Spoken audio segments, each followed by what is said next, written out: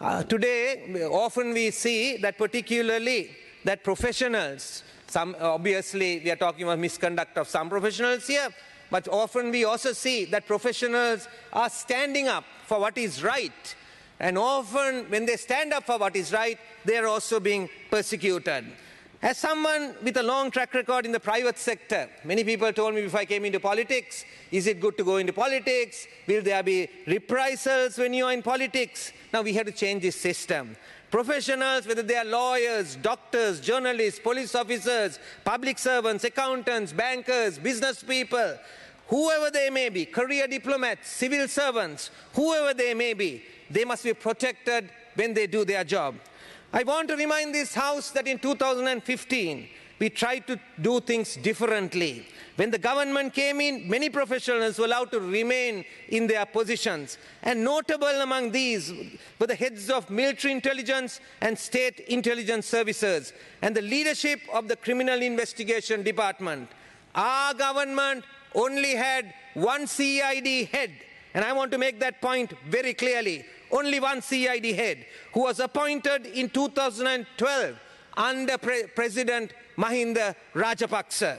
And that person, DIG Ravi Seneviratne, retired in December 2019 under President Gotabaya Rajapaksa. We did not manipulate it. We passed the 19th Amendment to bring rigor to the key public sector appointments, giving the opposition also an opportunity to have a say in these appointments. But compare this with what happened when President Rajap uh, Gotabaya Rajapaksa assumed duties on the 19th of November, the very next day, the first thing he did was he threw out CID director Shani Abeysekara, demoted him and sent him as a personal assistant to Galle. Even as a member of the opposition, I was hopeful that the government will look forward and not backwards. But what we have seen instead was unprecedented in proportions. Thanks to the courage of one magistrate yesterday, day before, Ranga Dissanayake, that the government has transferred out and gone after officers who were involved in investigating the MIG deal, not just Yabas, the MIG deal. Who are these officers? DIG Dhammika Priyanta has a master's degree in criminology and was a former deputy director of the CID in charge of its financial crimes unit. SP Pavitra Dayaratna was a senior SIS intelligence officer who specialized in unraveling LTT financial networks. Chief Inspector Nihal Francis was an expert in mutual legal assistance systems of obtaining evidence from foreign jurisdictions. In the MIG case alone, he secured evidence from the US, UK, British Islands, Latvia, Hong Kong, and Singapore. How does this country benefit by transferring such high officials of proven record to Kilinochchi or the traffic division or some other criminal uh, uh, crimes branch. And who are these officers they are bringing in to replace these CID officers? These are people who have been removed previously over disciplinary inquiries. And what are the kinds of investigations that are being conducted now? Now, for example, I would like to mention this. Take the Swiss case. When the CID was called to, to basically intervene in this, they turned the investigation into a baseless political witch hunt with innuendo an alleged abduction of a Swiss embassy employee was fabricated by three professionals. This is the story that was promoted. We have no problem in the investigation, but how other professionals were brought into this. The CID and the government wants us to believe that former Sunday Observer editor and New York Times journalist Dharisha Bastian, former CID director Shani Abeysekara, and former Lake House and Hilton chairman, a wor former working committee member of the UNP, Krishantha Cooray, all got together to mastermind this fictitious abduction.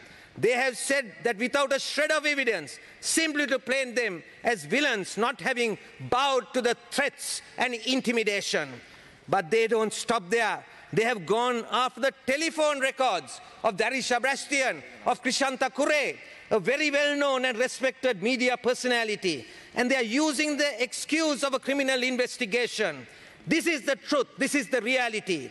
They are checking on Dharisha Bastian's phone records to check whether she has made calls to the CID. She is a journalist. They have questioned these journalists and lawyers who worked with her.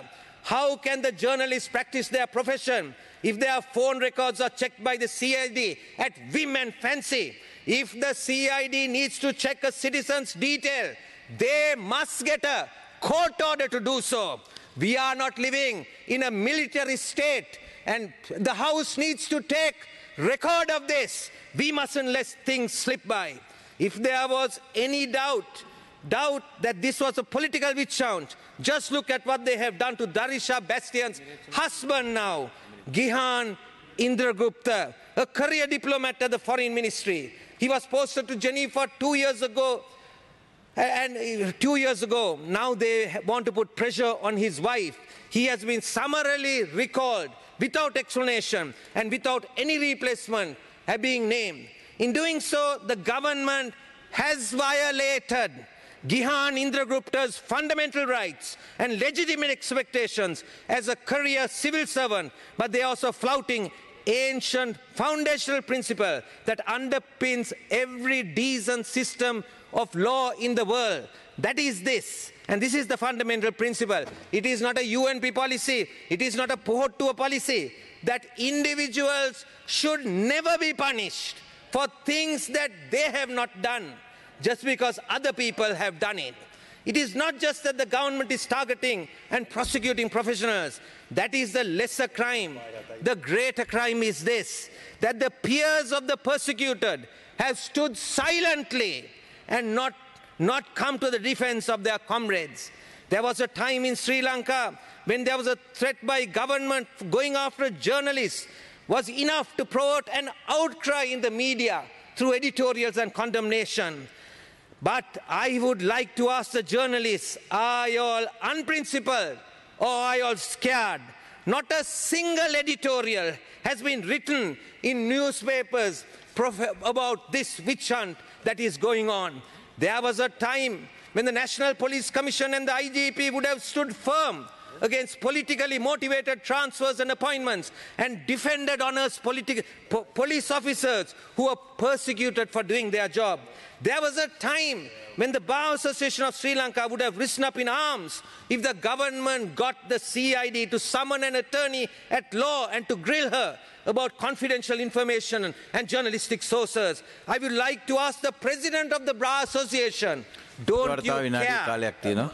Don't you care about what's happening? It was left to a magistrate to stick his neck out and defend the professional police officers responsible for the MIG deal investigation and for Sri Lanka's first ever successful extradition of a criminal suspect. Now there is fear that those who stand between Udayanga Weeratunga and his freedom will be targeted. It's high time that all professionals stood up for those who are doing what is right.